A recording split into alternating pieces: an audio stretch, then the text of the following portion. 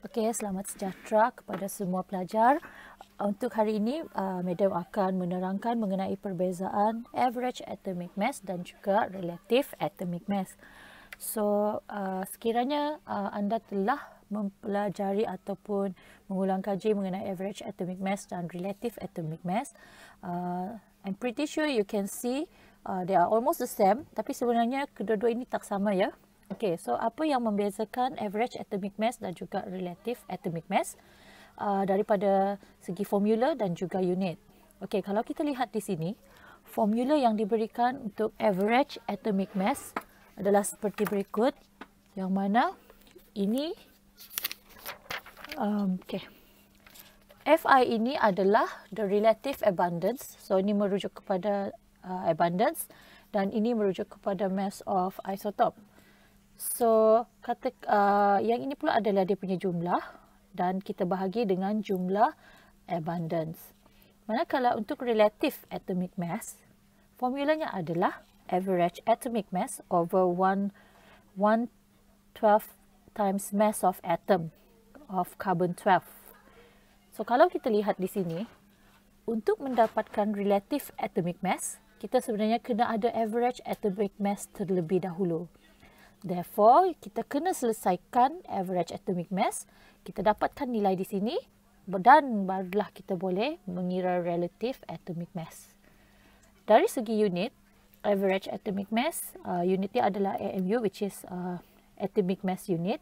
Manakala relative atomic mass, dia tidak ada unit. So, uh, daripada uh, contoh pengiraan nanti, anda akan lihat kenapa relative atomic mass tidak ada unit uh, untuk memahami dengan lebih lanjut, uh, kita uh, mari kita bincangkan example berikut. Now, two naturally occurring isotopes of copper, uh, copper 63 and copper 65 with abundance 75% and 25% respectively. So basically, uh, copper 63 ni, copper 63, the abundance is 75% and copper 65, the abundance is 25%. Now the first question, calculate the average atomic mass. So bagaimana kita nak selesaikan soalan ini? Mengikut formula yang diberi. Maka kita ambil copper 63. Selalunya apabila dia bagi copper 63, dia tak nyatakan mass. So kita andaikan mass itu adalah 63. So abundance dia adalah 75 darab 63 tambah um, 25 darab 65 bahagi. Okey, bahagi ini adalah jumlah abundance, bukannya jumlah mass. Ada pelajar dia selalu buat silap dia tambahkan mass pula dekat sini. No, it is wrong. We have to put here the total abundance. So we have 75%, 25%. The total should be 100%. So kalau kita kira, okay, kita akan dapat dalam berapa ya? Mm-hmm. Kita kira kita akan dapat dalam 63.5. So unit dia adalah AMU. Okay, AMU. Alright. So untuk relative atomic atomic mass pula, kalau kita lihat di sini, average atomic mass over 1/12 of mass of atom. Mass of atom is 12.0 AMU. Alright. So, average atomic mass untuk copper adalah 63.5 AMU over 1 over 12 times mass of atom carbon 12 which is 12.0 AMU. Okay.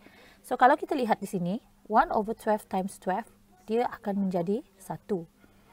Sekarang kita ada unit AMU di atas dan kita ada juga unit AMU di bawah. So dari segi uh, uh, rules of mathematics, unit bahagi unit, dia dah tak ada unit. So itulah yang menjawab kenapa relative atomic mass tak ada unit. So now 63.5 over 1, then we get 63.5. So this is the relative atomic mass for copper and the average atomic mass for copper is this. Okay, so dari segi pengiraan, cara pengiraan, you dah boleh nampak apa yang membezakan average atomic mass. Satu ada unit, yang satu tak ada unit. Persamaan dia sama sahaja. Dia mempunyai nombor yang sama 63.5. So I hope that this explanation can help you to understand the difference, uh, the similarity or the difference of average atomic mass and relative atomic mass. Okay, sekian. Terima kasih.